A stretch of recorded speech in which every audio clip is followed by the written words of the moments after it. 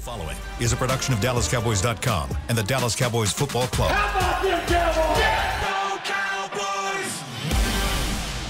This is the DallasCowboys.com Draft Show. Your war room for insider news and draft analysis from deep within the confines of Cowboys headquarters at the Star in Frisco.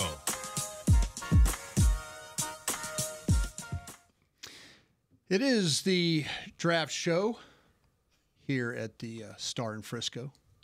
Brian Broaddus manning the mic one more time. How about that? Can't get rid of me. I'm like gum on your shoe. They brought you back. It brought me back. It's like the yeah. It's like the, the movie The Godfather, right? Uh, I haven't seen it. in God- that. Never, never, never, I've seen- never crazy. seen The Godfather. never seen The. Godfather. It's, God, it's Godfather 3. every is the one you're time, talking about. every time I try and get out, they, They pull, me back, in. yeah, that's exactly it. That's the that's the 1991. That's the one that's not very good. Noted. Godfather Yeah, 3. noted. You need to see The Godfather. I've been on like a big mob movie kick Uh-huh. recently. Yeah. And I've had like three conversations about The Godfather in the last week, so I do need to watch Need it, to but- watch. So the three's not worth it though. I mean, it's just it's stupid. It came around like 16 years later. Yeah, I, I don't know. Like uh, Mario Puzo needed a buck or something, and so they they made a third movie, and it was a waste of time, and it had Sofia Coppola in it, and she couldn't act. so- No. well, here's here's here's not a waste of time for you. We're going to talk some draft today. yeah. We're going to talk some draft. We're we're inside a week. Uh, well, it's actually draft week. Yes. So um, I'll introduce my scouts here: Nick Harris, Bobby Belt, Aisha Morrison, Chris Beamer in the back. Uh, I want to go around the room, and here we are, really days away. We're starting to count down the hours. I want to go around the room and just give me one thought about it. Doesn't have to be about a player. Doesn't have to. Maybe it's something you're hearing. Maybe it's something that you know you're feeling about this draft. Give me one thought, Nick Harris, that you're kind of right now feeling about as we get this started this week. Yeah, I'm wondering when the trades will start firing off. You know, away from the Cowboys pick, uh, there's a certain level of expectation that I think we we could all have for the Cowboys trading back in the first round. I think if uh, a certain a certain crop of guys are not on the board at 24, then they they start getting on the phones. But aside from that, when do the trades start firing off for whoever's going to hop into the top five to get JJ McCarthy? Um, who, who's going to be that team that kind of slides back to uh, to be able to get um, a better position with a, a defensive player, but also pick up draft capital in that top 10. So uh, they, that's Monday. You would have to think those uh, those things start firing off here in the next 48 hours, but it also could be on draft night. That's that's kind of the thought that I have coming into today. Um, but as far as the Cowboys pick goes specifically, um, offensive line, obviously, I think for me, this is kind of where I'm leaning right now. If there are three guys that are not available at 24, then I think they parachute back. And I think those three guys are uh, Troy Fautanu, uh, J.C. Latham, and Graham Barton. I think if those three guys are not on the board, then they they push back. That's kind of my thought right now. Aisha, you got a thought for me? Your second draft you've been a part of, done a hell of a job to get it to this point right now. Probably a little tired. We're all a little tired. Probably a little irritable. You got a thought for us on where you feel like uh, where where you are right now?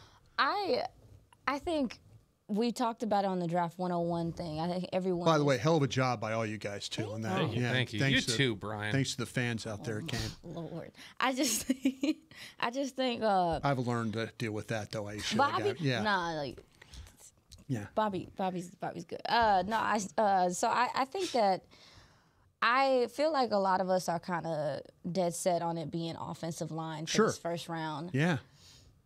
I don't know if it's just me because I like chaos, Yeah. but I I just feel like maybe they might surprise us uh, in how they handle that first round. Like you know, we talked about. Um, obviously, offensive line is a need. They've had success in uh, getting offensive line in the first round and all those things, but I just I'm looking forward to seeing if they surprise us and maybe do some things that we don't expect. Um, this the this is a, this is important, man. Like they they haven't touched free agency really. They haven't done really anything in the offseason to, in my opinion, get better.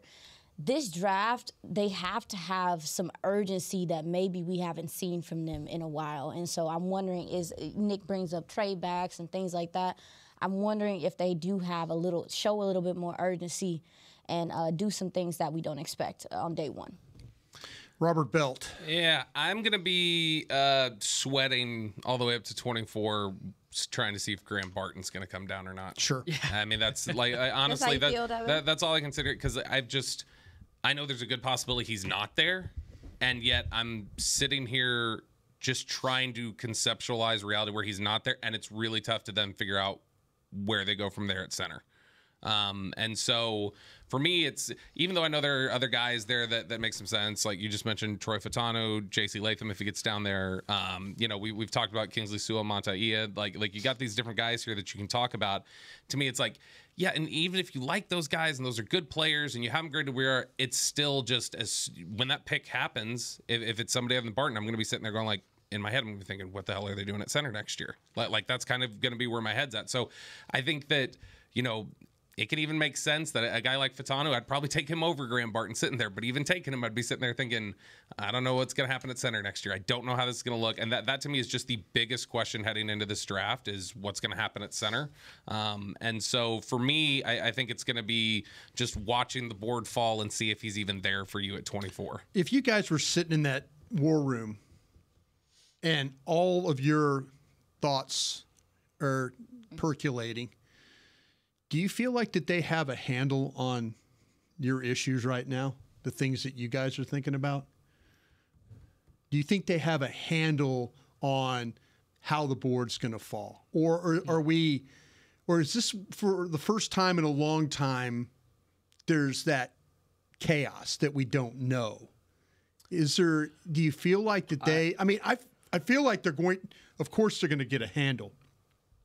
But uh, right now, I wonder if they do have that how handle. like, like like how predictable they think the first 23 Sure, picks go sure. I, I think the i think teams usually have a better beat on how things are going to fall Yeah, ahead of them do. than than we realize um, but i mean it's certainly happened before the cowboys openly acknowledged when they picked CeeDee lamb like we had every mock draft Right. scenario we ran he didn't get down there and Yeah. so and so like i mean things that scares me a little things bit. can happen in front of them and, and can be unpredictable but I think they probably know where their landmines are, where where they know like, hey, if we like this guy, we got to watch out here, here. If we like this guy, we got to watch out here. And I think they they know what's probable and, and and what they're looking at. Yeah, I, I think that they've got a handle on that. I agree with all those points, and but with that being said, kind of hearing all the smoke from the insiders and people that know a lot more Sure. than us, like the Daniel Jeremiahs of the world. Um, I don't know if they know more than us, but yeah. but I, I would I would I would say that just kind of hearing from what they they have been communicating over the last week, scouts are fearing how wild this is going to get on Thursday night. Yes. Um, you know, that there's there's an element of unknown that has been kind of more prevalent this year than in any other draft,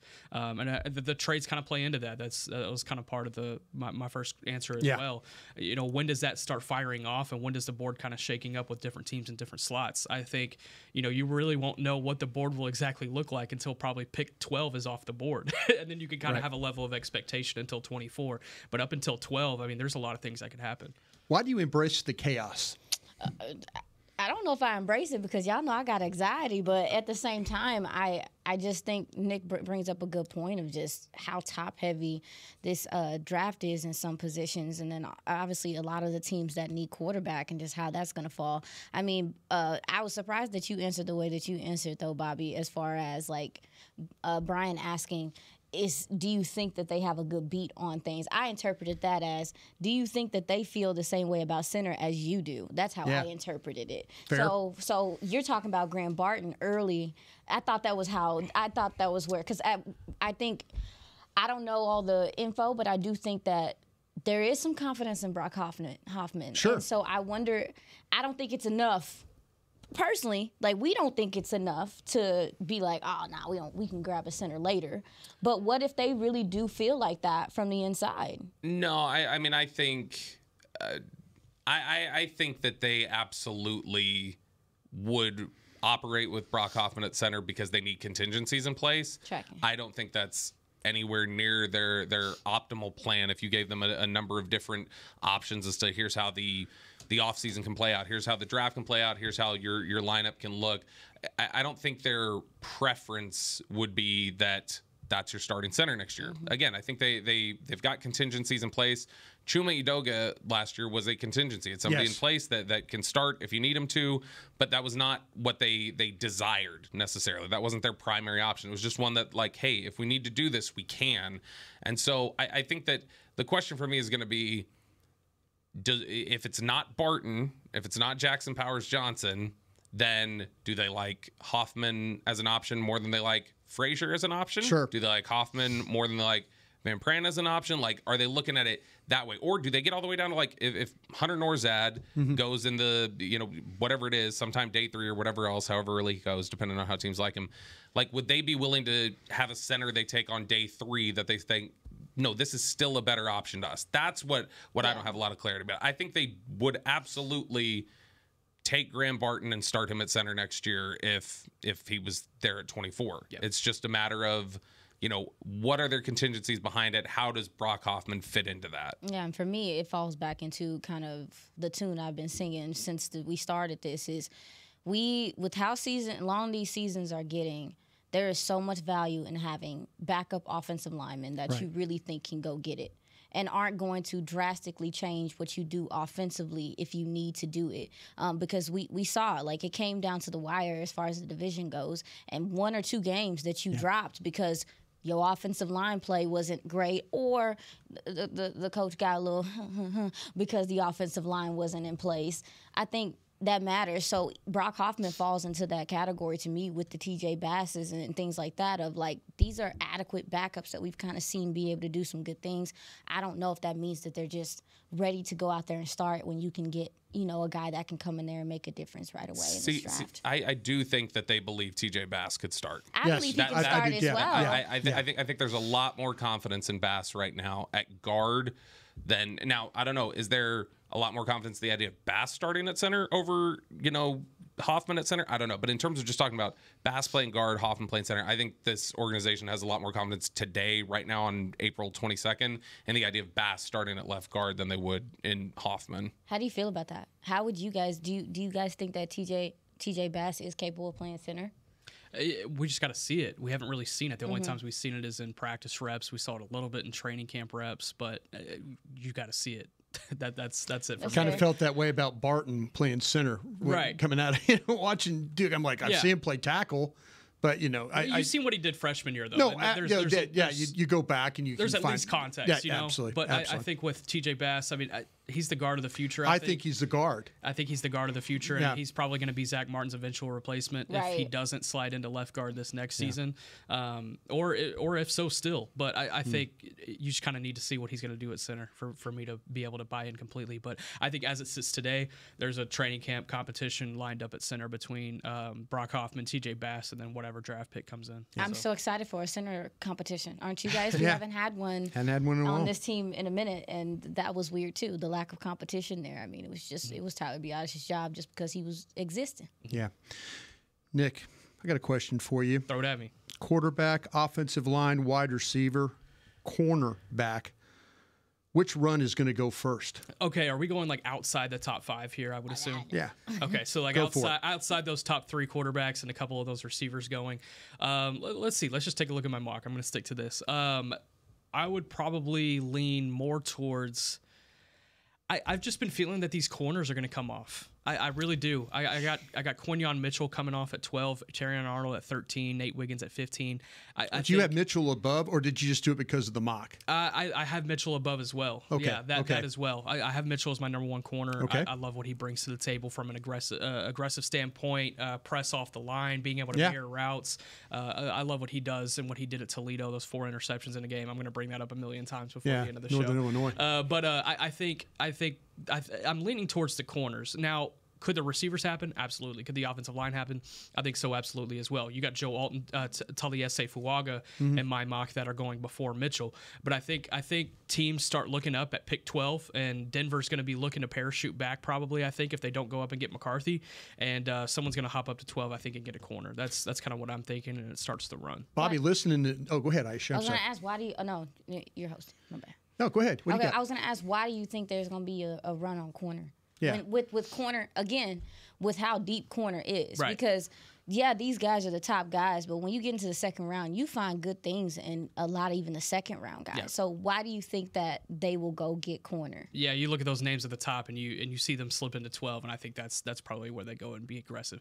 This is just a guess here, complete guess. This Oh, no, this I- board can fall a million different ways, but I, I think when they look at 12 and Quinyon Mitchell and Terrion Arnold are still on the board, people start getting on the phones because those are too good of talents to not go in the top 10. Bo- Bobby Nick thinks the draft is going to start at 12.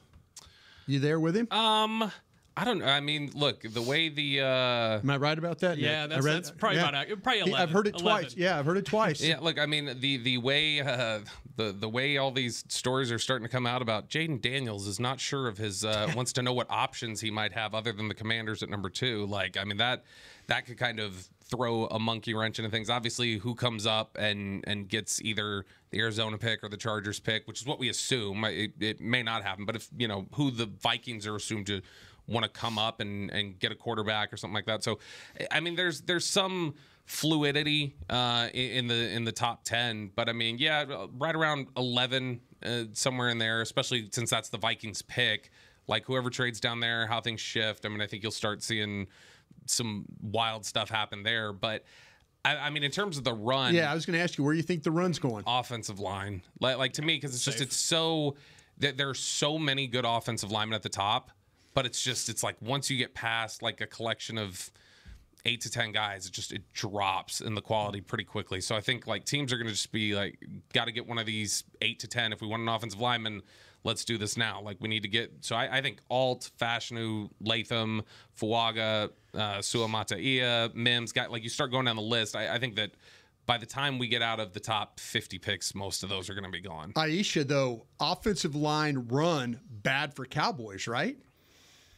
I mean, yeah, but uh, the way that we've talked about it is like even if they if there is a run, there's a possibility that you mean you mentioned. I think that there somebody's going to be there that they're interested that Sure. they have some interest in if if it falls correctly, especially if it doesn't start to twelve. Right. and especially if they don't start boogieing to 12 so i mean i think um I, I think it could be harmful but then also too you brought up and you've brought up multiple times that the best player on the board might be a defensive Yeah, player at I- that yeah. point if that happens and people just like i want all the offensive linemen Nick, will everybody go nuts if they pick an off? Uh, they pick a defensive player at 24. I don't think everybody would go super nuts, but there'd be some questions, especially if it's like Byron Murphy that plays at three tech, Yeah. or if they parachute back to like 30 and take Edgerrin Cooper or Peyton Wilson in, in that sense.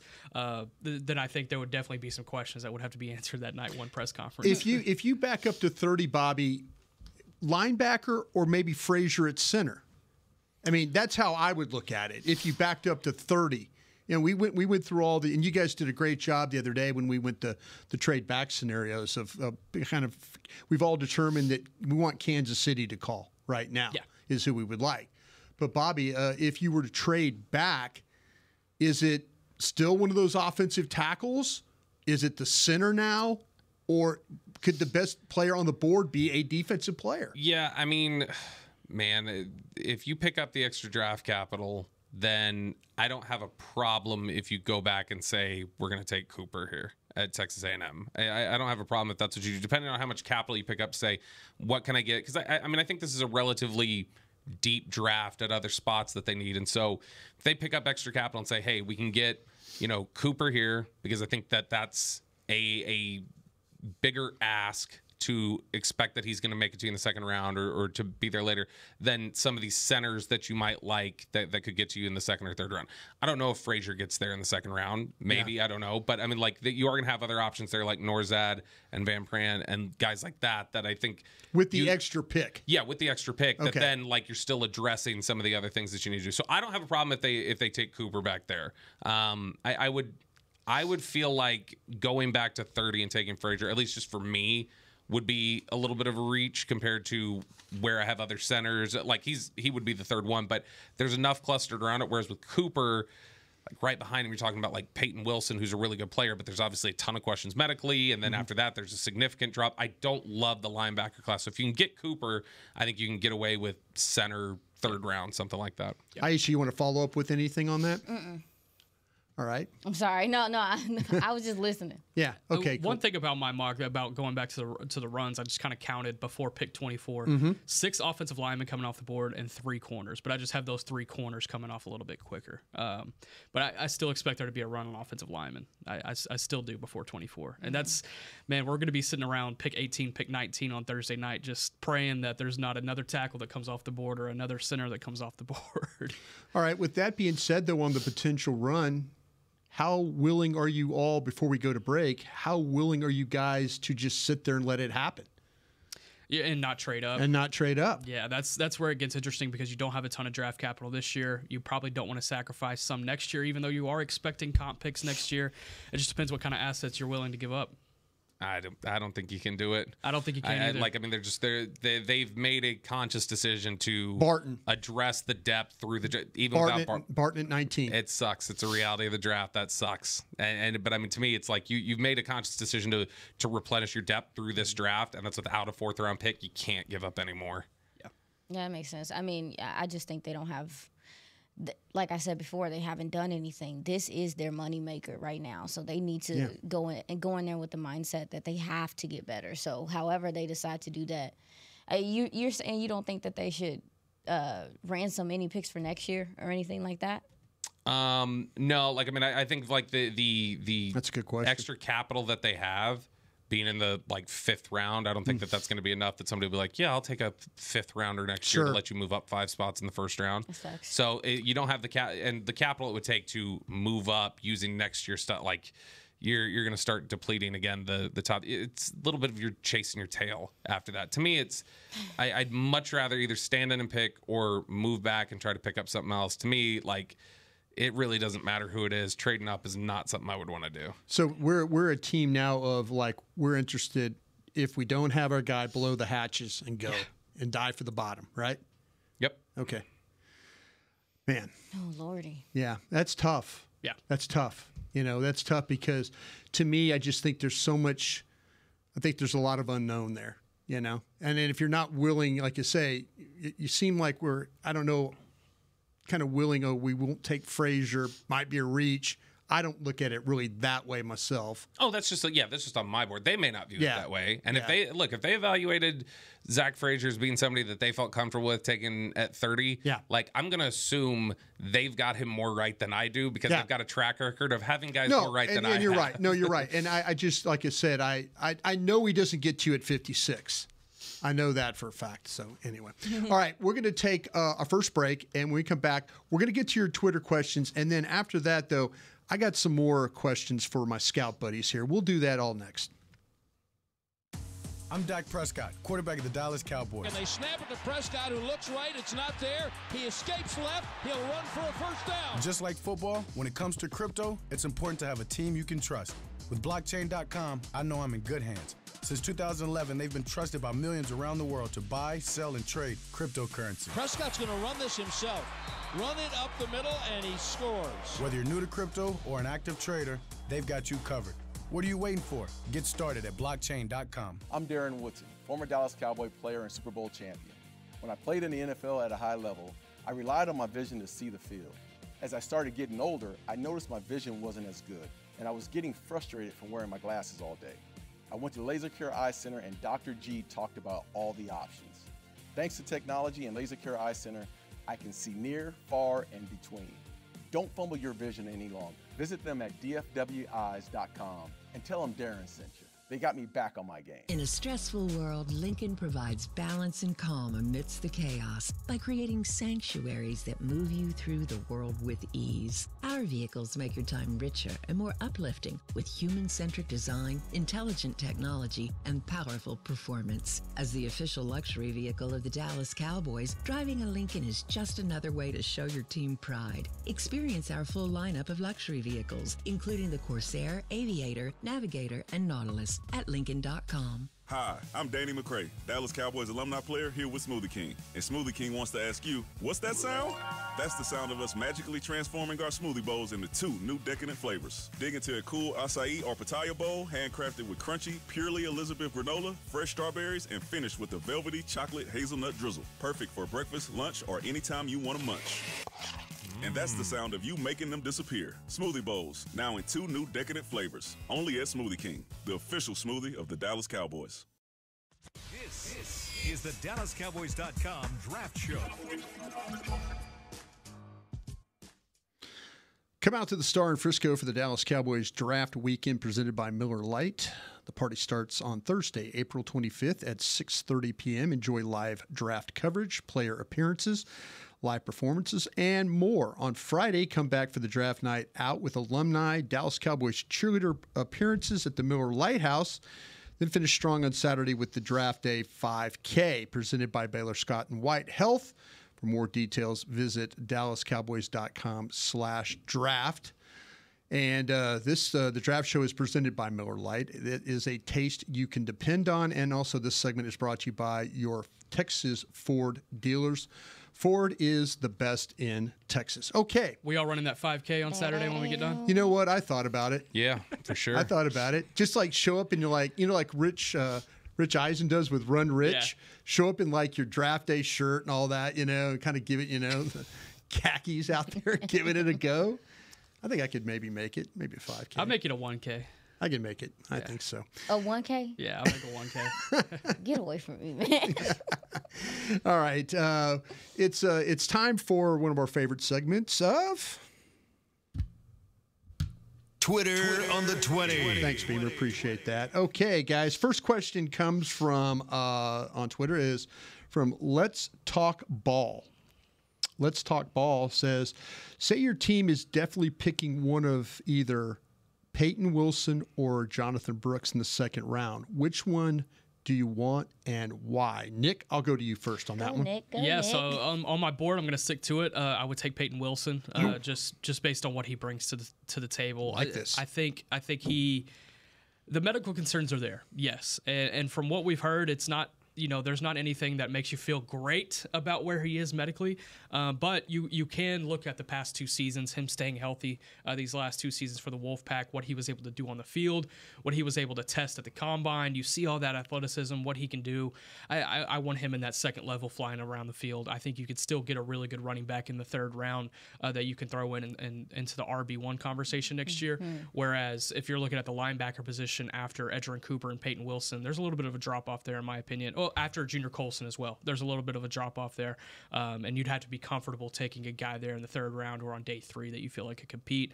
I feel like Peyton Wilson would be more of an immediate contributor i- in that sense, um, but I, I think uh, you can get a running back there in the third round as well. It'd be tough for me to pass on Jonathan Brooks, so I love Jay Brooks. Aisha. Oh, Sean, I was like, I was looking for Bobby. What you, I want to bounce off Bobby. Bobby, what you got? Uh, you know, it, Brooks, and it's nothing to do with Texas. It's got everything is, to do Bobby. with. Admit it's- that. No, no, no. It, it has nothing to. It has nothing to do with the Texas stuff. It has everything to do with. Uh, you know, we we have Dane Brugler on here. Uh, Dane Brugler from straight from his draft guy talking about you're talking about double digit surgery since senior year of high school, and, and it's not just. Well, it's this one knee gun problem. No, it's both knees. It's a shoulder. It's this. It's that. It's he's already 24 years old. Um, he, he's a really good player. To me, again, we're talking about the the margins are so thin in terms of making sure your depth is set for this next year and what you have moving forward. I, we, saw just what an unexpected injury in DeMarvion Overshown did last year at linebacker for the Cowboys, and and there's a little bit of an expectation I would think with Peyton Wilson of like he's going to get hurt at some point. and and even if he stayed healthy for two years, something will happen at some point. And I just I don't know that they can have their depth challenged on that. Um, with Brooks, there's nothing long term about Brooks's health. Uh, everything you hear is that he is salt of the earth, high character, high football character kind of guy. Um, and, and to me, he's the best running back in the draft. So to me, it's it's not very difficult because I think as you're trying to minimize risk and and you know build the best possible team you can. To me, Brooks is higher on my stack to begin with, and then the risk is so much less with Brooks compared to Wilson. Yeah, I mean, for me, I with as far as Brooks goes, yeah, he's the safer pick. Yeah, for sure, he's the safer pick as far as you know.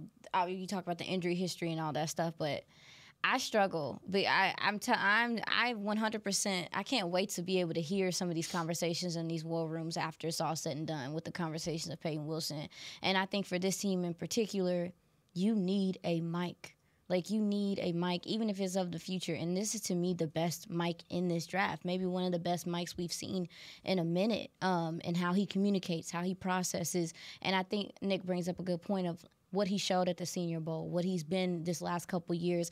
I can't imagine. I wonder, has anybody asked him what he puts into his body? Hmm. How much work he's put into his body to even be able to stay healthy that last couple years? I mean, yeah, Peyton Wilson is is a star, I think, and so it is hard um, in that regard. But I think Jonathan Brooks is a safe pick as we as we sit here right now and Schefty post that uh, Brooks is connected to the team. Yeah, you know, we know that right now.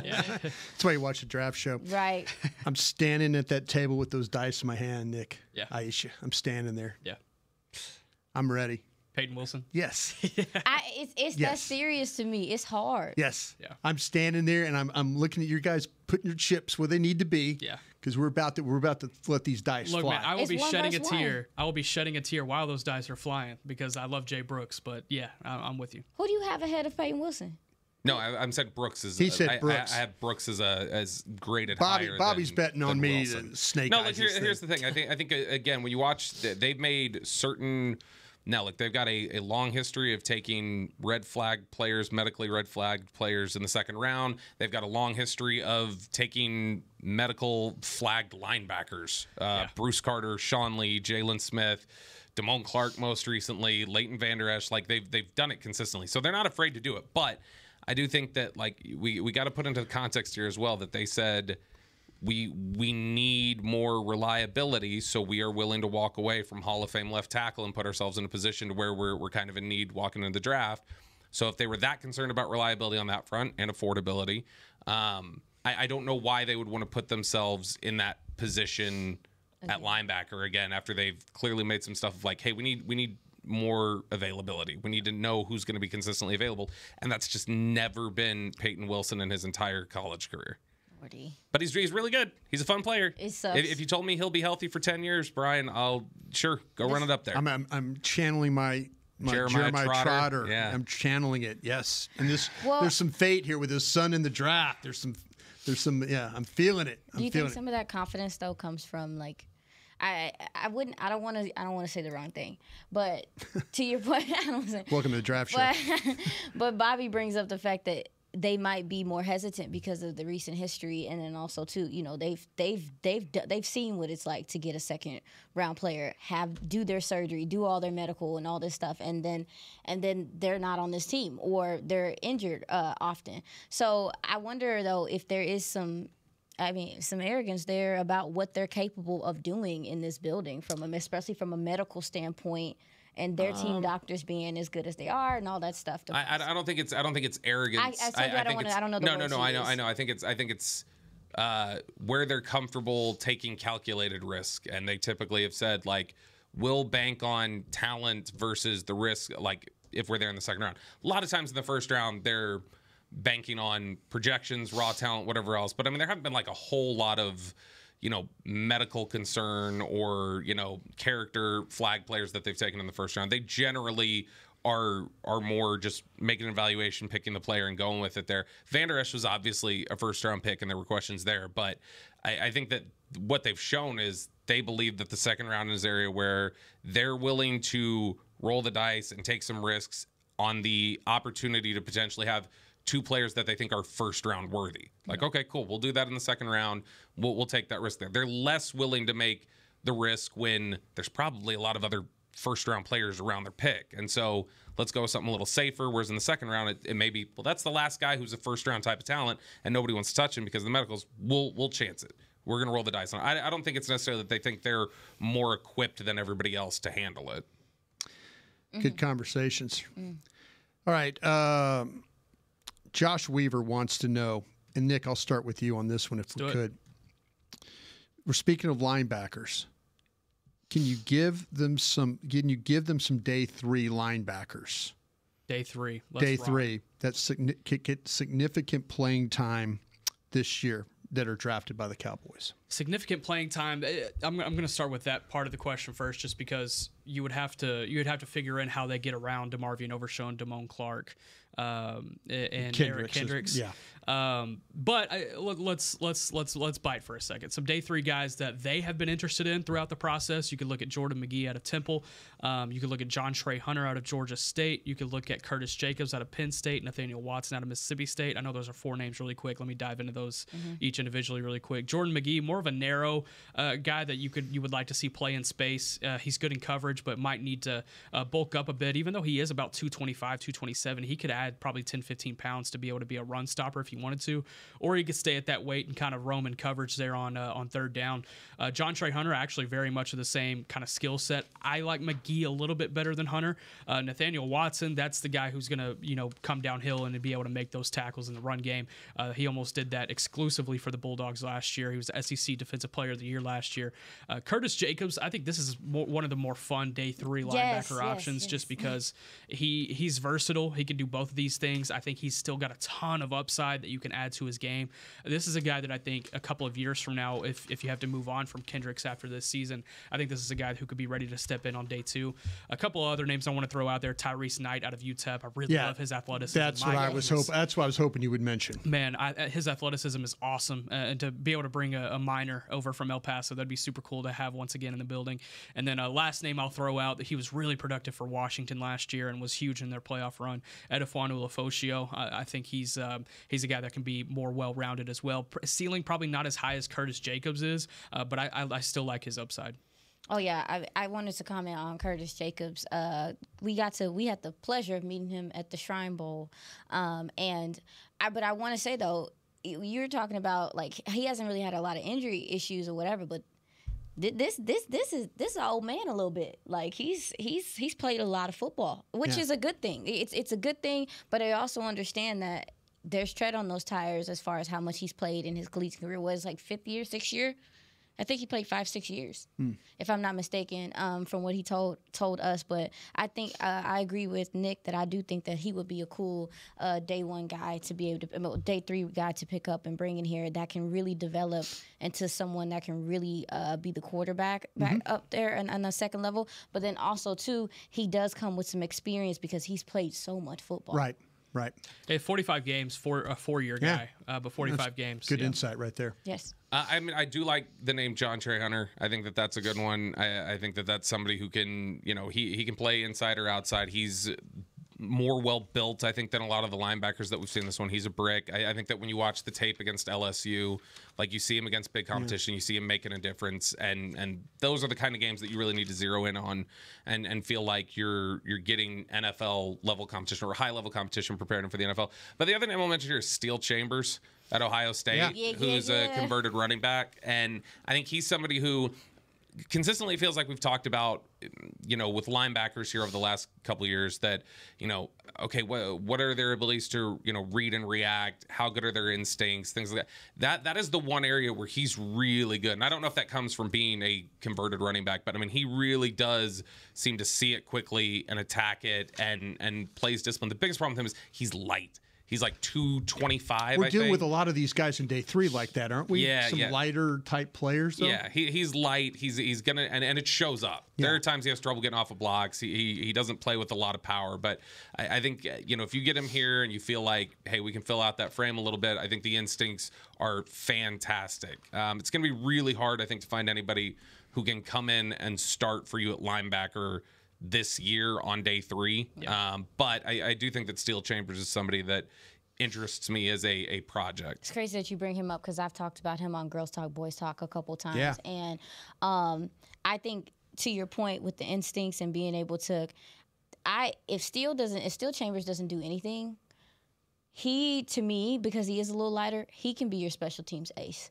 I think he's a guy that can come onto your team, your special teams, and make a difference immediately as well because of the instincts, because of the way he's be able to he's able to read and react. And I do think he can develop and maybe put on a little bit more size, a little bit more weight because he is a little light in the ass sometimes. But I do think um, he he does show some of that decisiveness that you are looking for from a linebacker. I but I personally think if a team gets a hold of him, he can really, really, really make your special teams uh, better immediately with how he plays. If I can mention, I don't know if you guys have seen this guy. I mean, there's a lot of linebackers to look at real quick, and but J.D. Bertrand from Notre Dame. Right.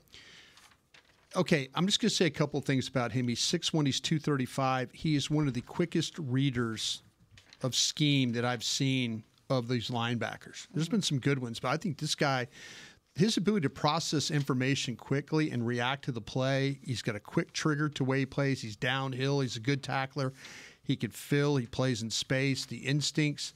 This might be a day three guy that I don't know if the Cowboys particularly like him, but I know watching him play pre snap, letting his teammates know where uh, what's about to happen, the fundamentals. Maybe he doesn't have the greatest athletic ability, and the lack of length might hurt him some in the NFL. But man, he made it work for this Irish defense and the way he played. So keep an eye on a guy, J.D. Bertrand from uh, Notre Dame. I, I, haven't seen him yet, but looking at his uh, combine photo here, he's got a first round graded jawline. He looks like a superhero. he's, a, he's a square built guy for sure. Okay, our final question uh, for you guys on uh, Twitter on the 20. Would any of you guys be surprised if Johnny Newton, the defensive tackle from Illinois, would be the pick at 24? That's coming from Raul. Yeah, that would surprise me. Um, it would be fun. Don't get me wrong, but yeah, it would surprise me. A, it's kind of the same reasons we talked about why Byron Murphy would be a little bit of a surprise. I, I, feel like Johnny Newton would be even more of a surprise, only because you know he was a guy that they really haven't done a ton of homework on uh, over the course of the draft process. Didn't have a formal with him at the combine. Didn't bring him in for a thirty. So um, I think to pull the trigger on him at twenty four would be would be definitely it would definitely be interesting. I kind of I think I have him going twenty seven in my mock twenty six mm-hmm. uh, to the to the Buccaneers. So um, he he, sh- he could be right in that range. But man, he's he's he is fun. He'd be violent pass rusher. He's a guy that I think can line up inside, outside. He's he moves like he's 250, but he's not. He's he's fun. Be funny because I, I literally as soon as you said the Bucks, I, I, pictured him in a Bucks jersey, and it looks right. Yeah, him mind. going back home to Florida, that'd be fun. No, it looks right in my mind. Uh, yeah, I I, I agree. I, I guess I would be surprised, but correct me if I'm wrong. Did did we have him from any type of did did the Cowboys have a 30 visit with um what was the offensive lineman that they were going back and forth with Mazi about. Bergeron. Bergeron. Did they have a thirty visit with him? Uh, I don't I remember. Don't recall. I'd have to look that up real quick here. I don't believe that. I don't believe if I'm remembering correctly, mm-hmm. we didn't start think we didn't think about him until the week of. Right. Like we had talked about it. We had talked about him as a player, but they hadn't really. All of a sudden, he's showing up as a player. Absolutely, yeah, yeah. he wasn't publicly like did he have a 30 visit? Uh, I no, I, that that I don't remember. But I, just, I, I, know they met with him at the combine and stuff, but the that's the, just what came to mind. Yeah, the bigger thing with that is just the on on Bergeron like that that filled something that they needed, and, and this year it feels like you've got even more challenging depth issues, and that's one area where it's like. Well, your starter's in place. Like mm-hmm. you've got a three technique. So I would be surprised if it was any three technique eh, with that first. If it was Byron Murphy, if it was Johnny Newton, I, I, would be really surprised if they picked a three technique defensive tackle in the first two days. All right. Well, appreciate all the questions there on Twitter on the 20. Thanks to uh, to you for uh, guys out there for making the time for that. Okay, when we come back, uh, it'll be the final segment of the day for the draft show. Uh, I've got some more uh, questions I want to ask my scouts, and we'll do that next. Hi, Drew Pearson, former Dallas Cowboy and now Pro Football Hall of Famer here. If you're struggling with your vision and tired of those contacts and glasses, don't throw a Hail Mary. Go where I went. Laser Care Eye Center, the official LASIK partner of the Dallas Cowboys. Drew, thank you so much for trusting us with your vision correction procedure. At Laser Care Eye Center, we offer six different vision correction procedures to help patients see. Check them out at dfweyes.com. Tell them Drew sent you. Hood hood. In a stressful world, Lincoln provides balance and calm amidst the chaos by creating sanctuaries that move you through the world with ease. Our vehicles make your time richer and more uplifting with human-centric design, intelligent technology, and powerful performance. As the official luxury vehicle of the Dallas Cowboys, driving a Lincoln is just another way to show your team pride. Experience our full lineup of luxury vehicles, including the Corsair, Aviator, Navigator, and Nautilus at Lincoln.com. I'm Dak Prescott, quarterback of the Dallas Cowboys. And they snap it to Prescott, who looks right. It's not there. He escapes left. He'll run for a first down. Just like football, when it comes to crypto, it's important to have a team you can trust. With blockchain.com, I know I'm in good hands. Since 2011, they've been trusted by millions around the world to buy, sell, and trade cryptocurrency. Prescott's going to run this himself. Run it up the middle, and he scores. Whether you're new to crypto or an active trader, they've got you covered. What are you waiting for? Get started at blockchain.com. Hi, I'm Danny McCray, Dallas Cowboys alumni player here with Smoothie King. And Smoothie King wants to ask you, what's that sound?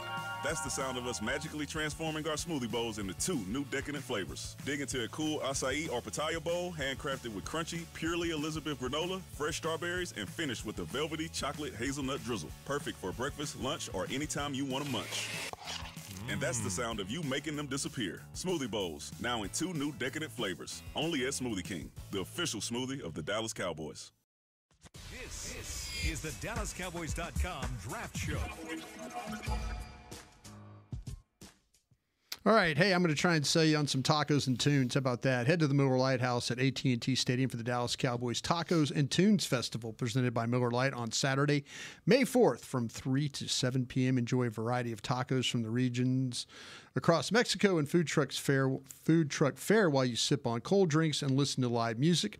Admission and parking are free. Visit attstadium.com slash tacos and tunes for, for more info see you there. Hey, we still selling our draft guide? We still putting that Yes, out? Yes, we are, Still putting out. Okay. Yeah, Make sure make sure that uh, we're doing part of that. How do we do this, Nick? Do you uh, have a plan for this? Do we go on DallasCowboys.com? Yeah, go on DallasCowboys.com. There on the front page, uh, you should be able to scroll through that little centerpiece, and you'll be able to find a place where you can buy it. It says big in big letters, "Buy now." So go buy it now. Ten bucks. You'll have it on your doorstep by draft day, and you'll be the smartest guy in the room. There you go. All right. Thank you very much for all that. All right. As we uh, finish off this final segment of the day, um, Bobby, I want to ask you this question. Mm-hmm. Your second round graded player who you wouldn't be surprised ends up getting taken in the first or maybe higher. If you look at your board, who's the one second round player? His face. I just know somebody I have graded in the third round will go second overall. So Talk about it. that- there- there's that. So I'm going to adjust a little He- bit. and does he say- hate our? Does it? Is it their Notre? Does he hate the LSU quarterback that It's much? Drake Maye, I think. Uh, No, no, he- no, no, no, no, it's Jane it's Jane Daniels. Daniels? He Yeah. hates Daniels. Okay, Yeah. okay. Okay. Yeah, Okay. it's uh, yeah, poor man's Lamar Jackson. I'll pass. Um, no, I, I think that uh, you know the guy that You don't study we, tape. all we that talked long. we talked about it. Like, calm down, uh, LSU. um, Okay, Brooks over the really good linebacker. Y'all need it. get it, get it. All right, all right. Well, look, uh, I, I look at it. Second round say, guy. Yeah, second round guy. Cooper, Edgerrin Cooper. I, I, I think Edgerrin Cooper is a guy who, who very easily could end up back into the first round. And I and obviously, I mean, like we've Maybe even about this. higher than the back of the second round, or No, no, or sorry, back into the first round. Like he's a, he's a guy that I have in the second that I think could because I think there's teams that probably have him as the top linebacker and are willing to say, hey, if, if we have a need here, we're going to. Say, if you look at like the when we get to the conference championship games, one of the things that's funny because we're sitting here talking about potentially these could be the Cowboys' first two picks. If you look at the center position and you look at the linebackers on the four teams that finished in the conference finals this year it's they they all were really really good and they've all invested there san francisco kansas city baltimore detroit they've all invested in those positions. They've all had quality players there. And i, I think that cooper is a guy who it became a little bit like linebacker was it felt like was the running back of defense for a little bit in terms of how people were valuing it. It feels like people are kind of coming back around and saying no there's some value here. You can't just throw anybody out there. And so i, I think cooper because of need you know lack of talent at the position at the top end I, I think cooper could get you know somebody could grab him back into the first. Aisha. Uh, for me, you know, Nick talks about the run on cornerback happening. I look at all these cornerbacks outside of outside of Quinyon Mitchell, and I look at Terrion Arnold, and I, I, I, I like the player, but there are some things I didn't like. Wiggins, you talk about the size. Sure. I think that Cooper DeJean from uh, Iowa could most you. definitely be someone that someone takes in the first round. Um, this guy, when I watched him, and again, I think Quinyon Mitchell is fantastic. I, I really don't think he's that far away from Hmm. being that complete corner that can do it all. He can play in zone. He can play in man. He's disciplined. He has good size. He's a strong tackler, multi sport athlete. The guy's done it all. Um, very productive in his time in Iowa. We know how the rest of the league views some of these Iowa players, but this guy's just a dog, and he's he's just he's consistent. And we talk about we talk about uh, Jackson Paris Bowers Johnson Yeah. and just the consistency, I feel like Cooper Dej- DeJean has kind of suffered a little bit from that. Is that he's so consistent that you almost forget about him. And I'm not going to let people forget about him. I think the rest of the, I think there's people that might be okay with taking him in the first round, even over like a Wiggins, just because of the size and some of those things. So that's just me. That's how I feel. Because if there's a run, it's going to have to be more than two guys. You can't have like three guys. It can't just be two guys in that first round. So I'm very interested to see if whoever takes Cooper DeJean throws him in special teams situations As a Because he- returner? yeah, because he was so fun as Yeah, a he- returner. yeah, yeah, and then sprinkle in that too. Yeah. Yeah. I mean this Yeah. this is this is a exciting, multifaceted player. Yeah. And I think teams value that. But you also get a corner that you know is going to come in right away. And you talk about the confidence. You talk about how intelligent he is. I think he could come in and, and hold it down. So that's Yeah. my guy. Yeah, my safety one. That's that's my safety. You one on so petty. I think. T- I think. I think. I think people might look at Terrion Arnold as a safety. Oh, want to get into that? No, I, I'm not going to get into it like that because we've talked about it before. I just think the length and some of the stuff he does. Yeah. I think that some people might look at him as a safety. Boy, that guy. Detroit went from being what a kind of a corner say, Brian Branch. Branch. Yeah. Mhm. Boy, he played well for them. Played in the slot Right. too and stuff like that. Who do you got, man? What you got? You got one? You got Uh, second, so I only have 19 first round grades. So there's a lot, honestly, that I that will be picked in the second round, obviously. Sure. So I'm gonna kind of think outside of the box here a little bit, um, and, and not even too far outside the box. Uh, Ladd McConkey out of Georgia. Oh, ha.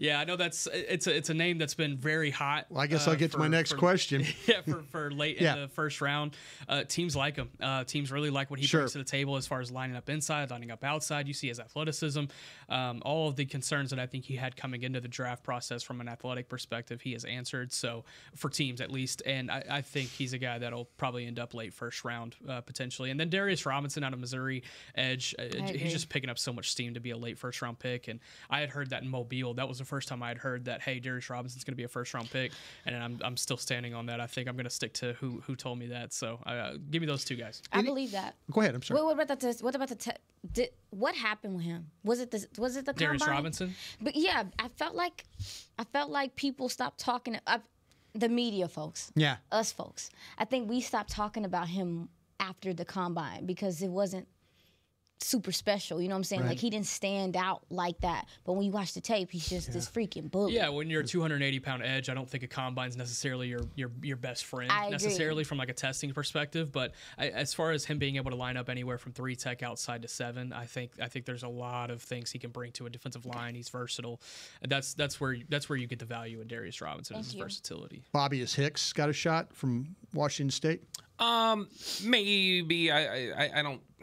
I wouldn't think so, but I, I, I mean, I, it's definitely possible. I guess. I mean, Hicks, I think, is going to be the first safety for a lot of teams. So, Yeah. I, I mean, if somebody wants to, you know, address that position back into the first, I don't, I don't think it's like a terrible reach either. Like, I really like Jaden Hicks. I just, I don't know that the demand is going to be there. I don't know how many people are going to have Nubin over him. And I actually think the trendy thing that's that's one of the areas where I think we, you know, in the media talking about it, we've been behind the NFL. I think most of the NFL has Hicks above Nubin. Yeah. And and so that's one where like I think the draft Twitter social media sphere has not been in lockstep with them on that. So I think there's a good chance Hicks goes before Nubin. I just don't know if it's back into the first. Yeah, I mean, I think a lot of that has to do with the fact that, and I think Nubin's fantastic, and he can play some free safety, some uh, strong safety. Mhm. Um, but it's also too with Jaden Hicks, and again, it's not the time Nubin doesn't do it, but it's just how he feels in the run game Yeah, too. yeah. And with just how many how many teams are doing things, trying to get guys out in space and stuff, having a safety that can cover ground like that. But I also like how he operated in dime. I was surprised by just how comfortable he is. Um, uh, covering all that ground and and and, and carrying defenders. So yeah, with Jaden Hicks is I, I agree with you. It's it's kind of like how we look at Edgerrin Cooper and Peyton Wilson. It's like one A one B in that situation to me as well. Any chance that Corley gets picked in the first round? I don't I don't think so. I would love that, but I don't think so. You I wanna just start haven't a heard- fire? I haven't heard a lot of smoke around around that. I, I think when you're talking about those receivers who could go first round, it's kind of limited to Xavier Worthy, Ladd McConkey, Adonai Mitchell. Yeah. Um, probably those three guys. And I, I, I think if you go beyond that, then you're still talking Keon Coleman. Yeah. And then maybe you start talking about Corley and Legette. But I, I think those are comfortably second round guys. Yeah, I don't think nobody's going to get googly eyed and take Xavier Worthy just because he's super Yeah, fast? definitely could. Oh, yeah, they could. That's will. what, that's what I'm Oh, yeah. saying. Like Oh, they, yeah. would, I they would be jumping on Yeah. a guy like I don't know Worthy before yeah. before a guy like Malachi Corley. Okay. All right, in the uh, in the last five minutes we have here, this has kind of a, been a touchy subject for a lot of folks, but I'll ask this question. Let's piss some people off, Brian. Yeah. Yeah. Where do you guys stand on all these potential medicals that we're dealing with? We got all these medical things that have come up about these players since the combine. We've, you know, whether it's the center, the linebacker, the running back. Where where are you guys? Are you numb by it? Are you do you are you saying, listen, I I trust my team's going to do the right thing. You know, if they take my guy, obviously cleared. I mean, there, I, I just feel like there's a lot of good players. I think there's probably more. There's players on our board that we haven't even talked about that have medical things that that Probably. that all of a sudden we're going to be like, okay, Nick, who's your who's your best player? And then all of a sudden it's three guys that you're like, I don't understand why they're falling. Yeah.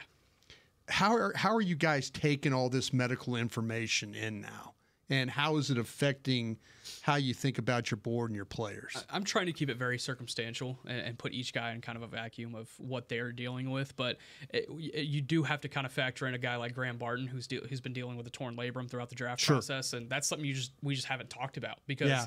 we've been talking about Jackson Powers Johnson and his medicals. We've been talking Sure. about Peyton Wilson or Jonathan Brooks, et cetera, et cetera. Latu from UCLA, Latu, yeah. exactly. So uh, there's a lot of guys. I think it- is is there a little bit of numbness? I think there is maybe for for media scouts, but you can you can best believe that if there's a pick made by any of these 32 teams, they're doing a lot of research as to what they are getting medically from that from that player. I think uh, I, I think there definitely will be two or three guys we look at around like pick 30. And we're like, why are these guys falling? So Yeah. which could help the Cowboys. It very well Sure. could. So we'll see. Sure, Bobby, how do you feeling about all the medical information you're starting to get? Yeah, I think the stuff that I can that that's just out there publicly on display for everybody to see.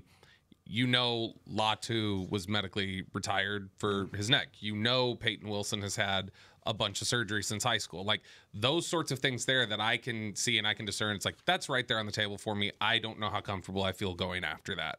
So, so those are those ones. The other ones that are murkier you know Jackson Powers Johnson, where you you hear rumblings of stuff and hear things like that.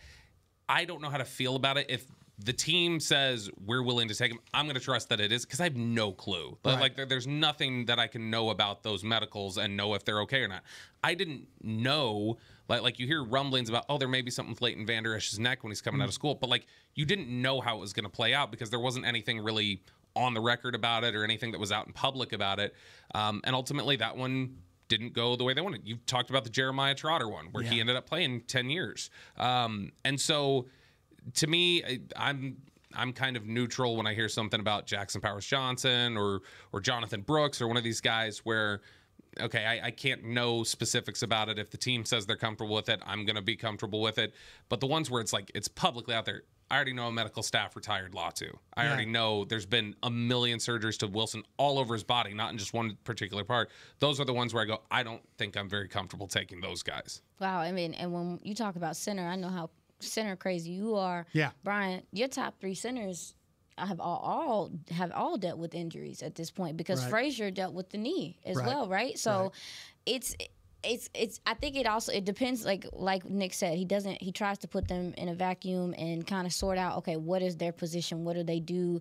Um, how how much depth do you need there whatever the case may be? I think that for me is what plays into it. Um, because even when we were talking about Brooks earlier I mean yeah like I don't like the fact that he's had an ACL but he can recover from that. Now if this was like five six years ago maybe I would be more concerned because the committee aspect was not what people were doing like that. You had like a guy that ran the ball a whole bunch and a couple, maybe a couple gentlemen just fill in here and there with mm-hmm. short yardage situations. That's not what football is right now. Right. These wide, these running backs are being asked to do more wide receiver things as well, and they're lining up outside and stuff. It's not.